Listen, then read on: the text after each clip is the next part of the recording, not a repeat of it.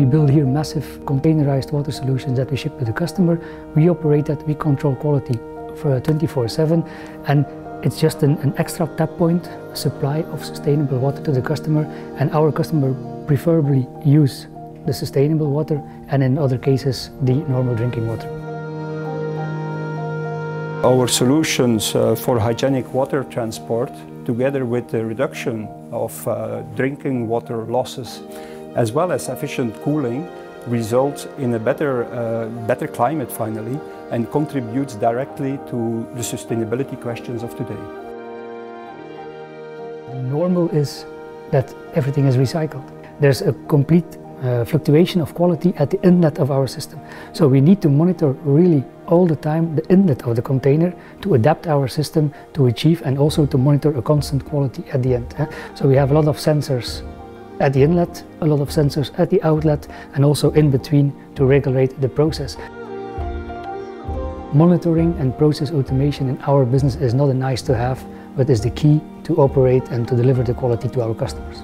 So what we realize is we're putting our systems on the plant of our customers and our customer just pay the job, but we guarantee 24-7 always the quality they need. We take care about their whole installation and the biggest advantage in our cooperation with Ekopak is in fact we can openly discuss about almost every topic. We can discuss about, uh, about improvements of their containers, we can discuss about innovation. So I would not really focus on one point of process automation as such, but we, we can solve their pains into their, the entire process. And that is the big added value that we can offer to Ekopak. We have to switch uh, to a circular economy. And a circular economy is an economy of partnership.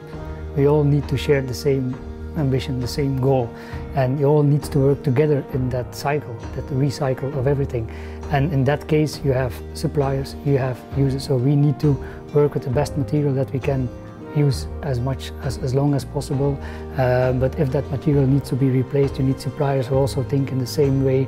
So I don't like to, to use the word one-stop shopping. But in fact, it is more or less like that, uh, because they can buy almost all their equipment from one single source, in that case GF.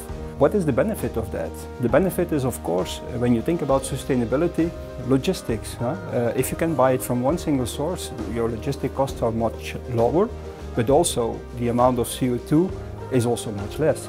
So this is already a big benefit. Also, they talk to one single partner when it comes down to technical issues one source, one technical contact, one key account at GF helps uh, Ekopak to solve their pains. And also during years of participation, cooperation, partnership, we understand much, much better their systems. We speak the same language, which finally results in an optimized solution that we can supply to Ekopak. So in the new economy, the circular economy, it's an economy of, of uh, partnerships. Um, of this whole chain and uh, that's where we strongly believe in and we also feel the same values and same ambition with uh, our partner GF.